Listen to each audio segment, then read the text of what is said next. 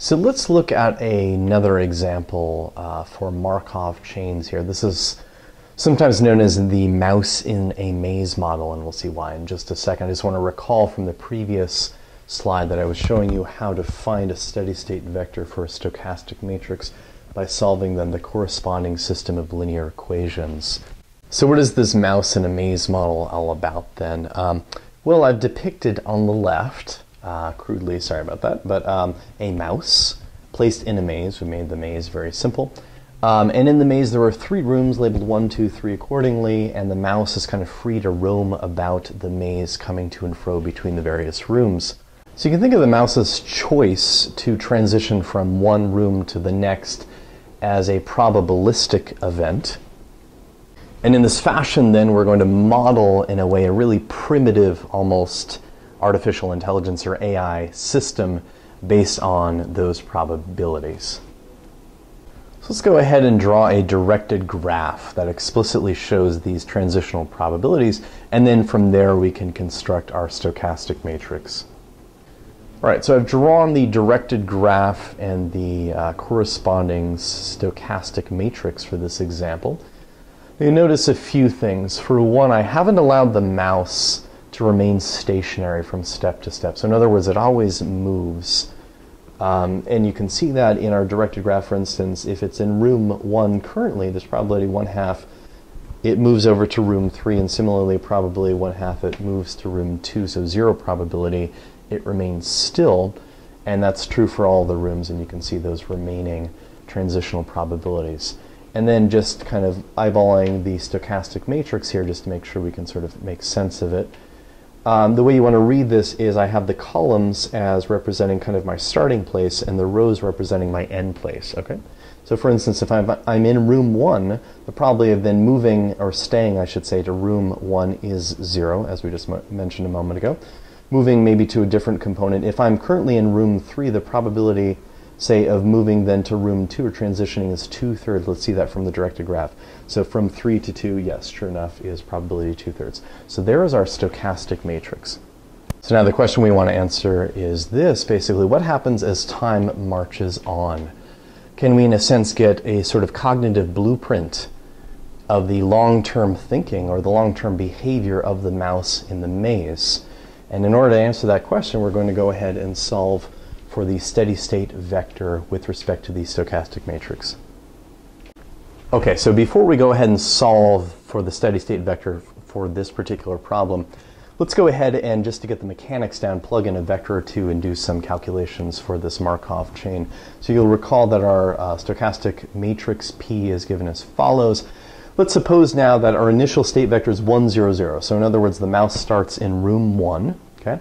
Now, if I want to figure out sort of my probability vector, my transitional sort of state vector after one time iteration, I just multiply on the left by my matrix P, and then I get, not surprisingly, the following probability vector. So after one step, we have probability one half that the mouse is in room two, and probability one half that the mouse is in room three. So if I want to turn the crank with the Markov process again and sort of see what's my probability look like after two iterations or two time steps. I multiply again by p, and now I get this new state vector, one third, one third, one third. It's a uniform probability vector. So the way I would interpret this result is to say after two movements of the mouse in the maze, there's an equal chance, there's in other words a one third probability that the mouse is either in room one, room two, or room three. So the big question, though, is what is the end behavior of the movement of the mouse in the maze? In other words, what is the steady state vector for this system? Let's codify then that idea using the language of mathematics. So a steady state vector, we'll denote it as x, is by definition a probability vector. In other words, the components of that vector sum to 1. And basically what's happening is when I multiply on the left, by my stochastic matrix, right, when I multiply a stochastic matrix times a steady state vector, it remains unchanged. So I get x back. One way to put this also is that we can say that our system, our dynamic system, is in equilibrium when it reaches the steady state vector. Okay, so when I do that calculation, when I solve for x, in other words, our steady state vector, we get the following result. x is equal to 1 quarter, 3 eighths, 3 eighths.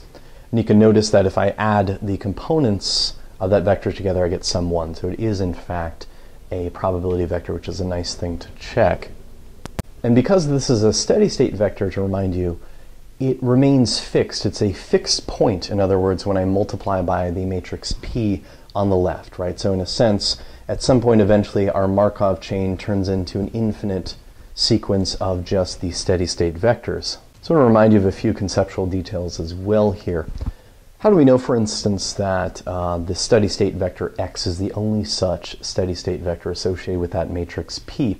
We know that from the theorem I mentioned previously in this section, namely, as long as the stochastic matrix P is regular, meaning that if I take a power, enough powers of it, I get sort of uh, strictly positive components. Well, I haven't shown that directly here, but if you square P, by the way, you can see that you get strictly positive components. So P is regular. So the theorem guaranteed us that if our stochastic matrix is regular, then there were two sort of consequences. One is that, yes, the steady state vector x is unique. So there is the only steady state vector fixed point for this matrix. The other guarantee, which is important in sort of understanding and interpreting this problem and its answer, is that no matter where we start in our Markov chain, the Markov chain will converge to that particular vector.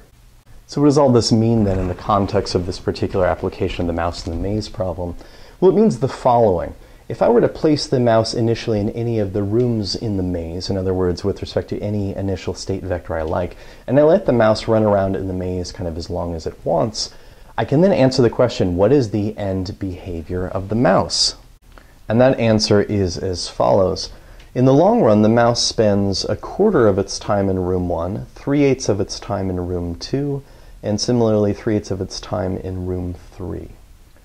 So there we have it. So let's then, in kind of retrospect, now that we've solved the problem, take a step back and appreciate what a Markov chain and this sort of in conjunction with this procedure of solving for a steady state vector have done for us. Right? In the beginning, we posed a rather daunting and you know, complicated question, or a series of premises. We said, knowing the probabilistic tendencies of this mouse, right, moving in the maze, what is the long-term behavior of this dynamical process?